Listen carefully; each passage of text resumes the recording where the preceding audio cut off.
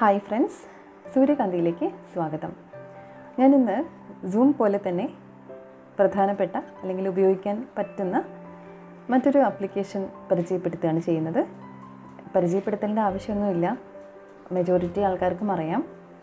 ഇത് Google Meet ആണ്. Google Meet എന്ന് പറയുമ്പോൾ നമുക്ക് ഒരു സമാധാനം ഗൂഗിളാണല്ലോ തരുന്നത് എന്നുള്ളതാണ്. ഗൂഗിളിന്റെ പലതും നമ്മൾ യൂസ് ചെയ്യുന്നതുകൊണ്ട് തന്നെ നമുക്ക് ഗൂഗിൾ മീറ്റിനെ കുറച്ചും കൂടി വിശ്വസിക്കാം. നമുക്ക് തോന്നും മനസ്സിൽ വിശ്വാസം. സൂമിനെ കുറിച്ച് പലർക്കും പല ആശങ്കയുണ്ട്.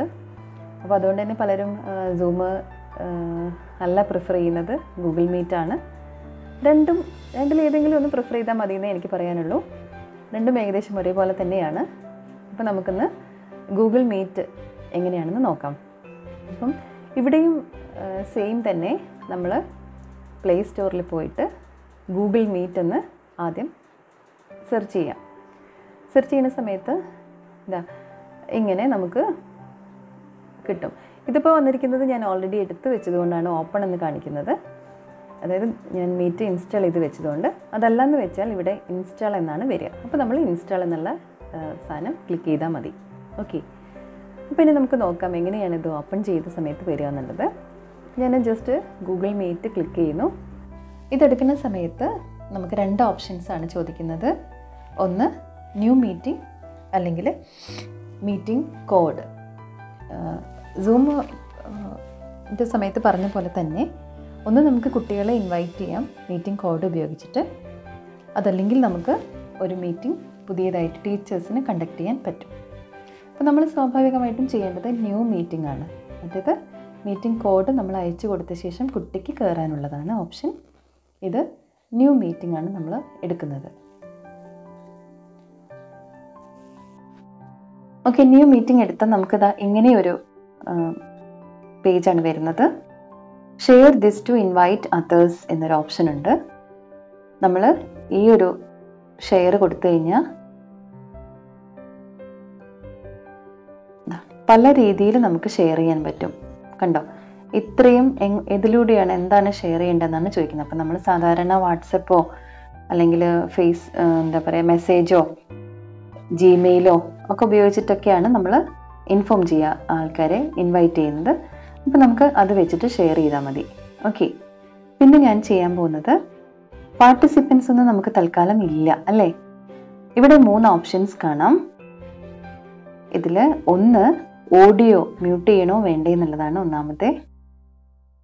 രണ്ടാമത്തത് ഫോണാണ് അത് നമ്മൾ അവിടെ കട്ട് ഫോണിന്റെ ഒരു ചിത്രം കാണുന്നുണ്ടല്ലോ.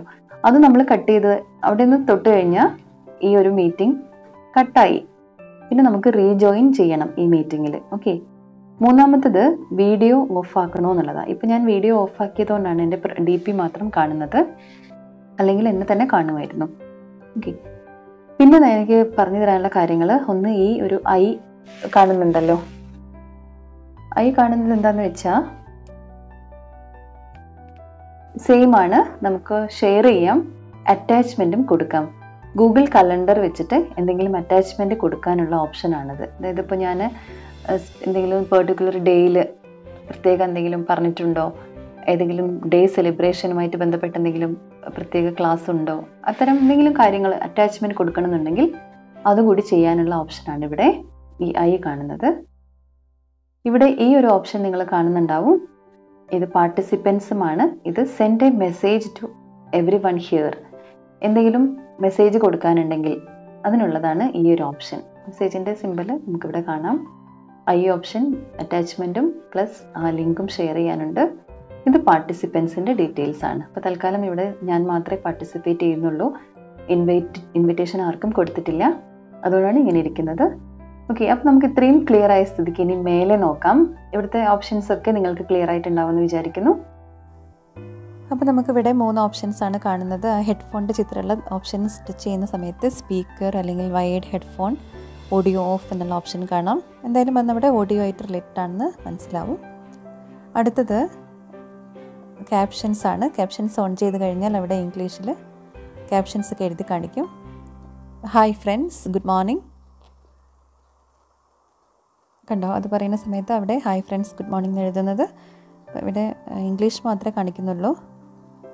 പിന്നെ അടുത്ത ഓപ്ഷൻ കുറച്ച് കൂടുതലുണ്ട്. ഒന്ന് switch camera turn off captions present screen ഒക്കെയാണ് ഒന്ന് നമ്മുടെ ബാക്ക് സൈഡ് ബാക്ക് ക്യാമറ ഉപയോഗപ്പെടുത്താനുള്ളതാണ് അപ്പോൾ ചിത്രമോ അല്ലെങ്കിൽ നോട്ടോ എന്തെങ്കിലുമൊക്കെ കാണിക്കാനുണ്ടെങ്കിൽ ബ്ലാക്ക് ബോർഡിൽ എഴുതുന്നതോ ഒക്കെ കാണിക്കാനുണ്ടെങ്കിൽ ആ സമയത്ത് ടീച്ചർക്ക് ഉപയോഗപ്പെടുത്താം.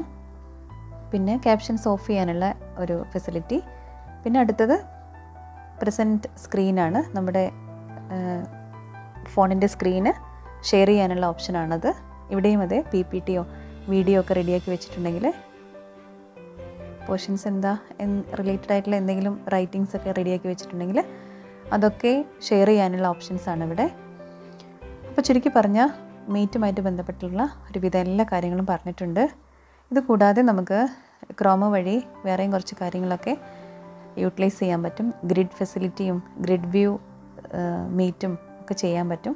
അങ്ങനെ നമുക്ക് ക്ലാസ് കുറച്ചും കൂടി ഇഫക്റ്റീവ് ആക്കാം. എല്ലാ കുട്ടികളെയും കണ്ടുകൊണ്ട് തന്നെ ഇഫക്റ്റീവ് ആക്കാം.